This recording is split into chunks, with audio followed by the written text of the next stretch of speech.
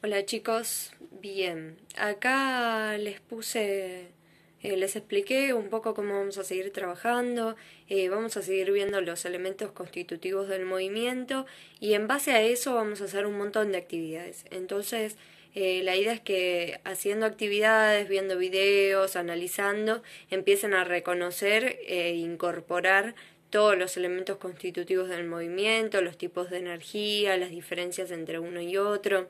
Es importante que lean y relean el texto para que les quede claro cada definición.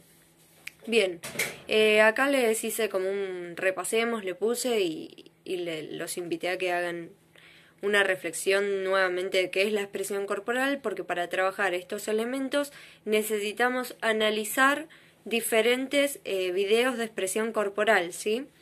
Yo acá les puse este, que, la expresión corporal em, propone siempre en las actividades de, clases, por ejemplo, eh, un motor de movimiento, ¿sí? Partir desde un motor de movimiento para después eh, hacer todo el trabajo. Entonces acá de ejemplo les puse por ejemplo, estamos en una clase de expresión corporal y como movimiento, eh, motor de movimiento se plantea, trabajemos la emoción de enojo a través de la energía discontinua.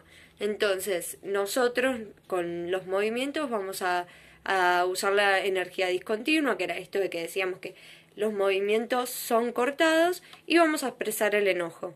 ¿Sí? Eso es a modo de ejemplo.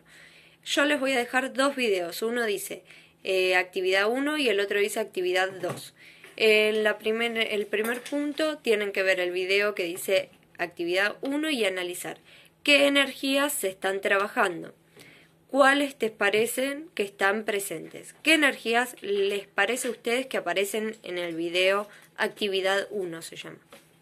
Y en el otro, el punto 2, dice, eh, vean el video que dice actividad 2, y analicen qué niveles se trabaja a lo largo de todo el video.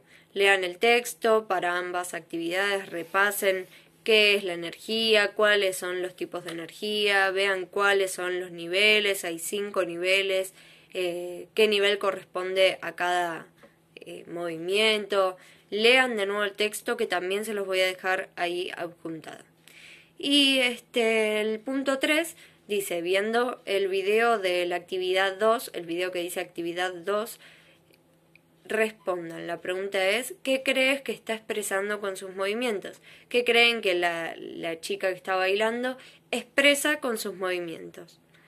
Mírenlo, analícenlo y pongan lo que ustedes interpreten.